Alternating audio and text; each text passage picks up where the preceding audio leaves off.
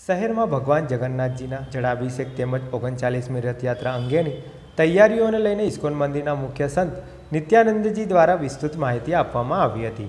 કોરોનાની મહામારી વચ્ચે આ વર્ષે વડોદરા શહેરમાં તારીખ બારમી જુલાઈ અષાઢી સુદ બીજના દિવસે પરંપરાગત રીતે રેલવે સ્ટેશનથી નીકળનાર છે. તે પહેલાં તારીખ ચોવીસમી જૂનના રોજ ભગવાન જગન્નાથજીના અભિષેક તથા અન્નકૂટનો કાર્યક્રમ યોજાશે.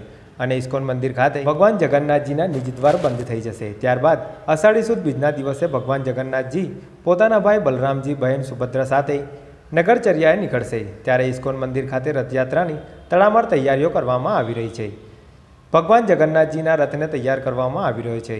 જેની તમામ તૈયારીઓ ઇસ્કોન મંદિરના મુખ્ય એવા નિત્યાનંદજી સ્વામીજી તથા મંદિર પ્રશાસન દ્વારા નિરીક્ષણ સાથે જરૂરી સૂચનાઓ આપવામાં આવી રહી છે. આ તમામ તૈયારીઓ વિશે નિત્યાનંદજી સ્વામીએ જણાવ્યું હતું કે ગત વર્ષે કોરોનાની મહામારીના કારણે રથયાત્રા કાઢવામાં આવી નહોતી.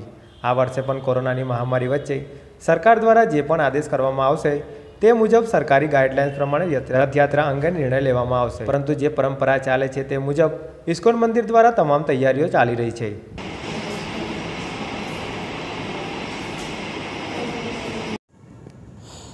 हरे कृष्णा, इस्कॉन बड़ौदा के द्वारा, जो वर्षों से भगवान श्री जगन्नाथ रथ यात्रा महोत्सव होता है,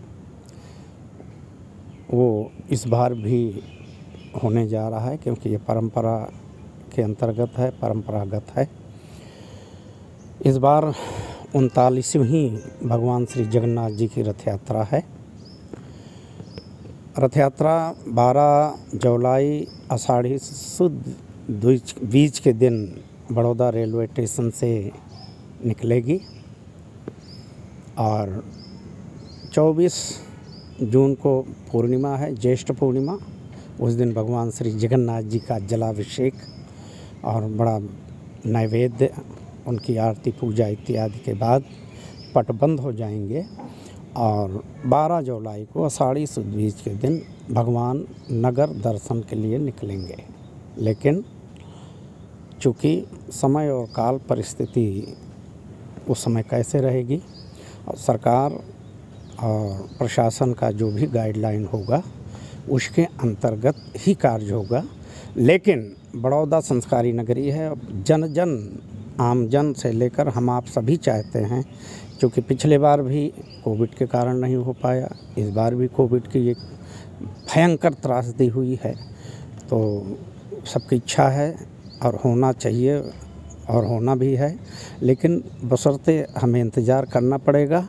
सरकार और प्रशासन के अंतर्गत जो गाइडलाइन होगी, उसी के अनुरूप जगन्नाथ जी की यात्रा निकलेगी।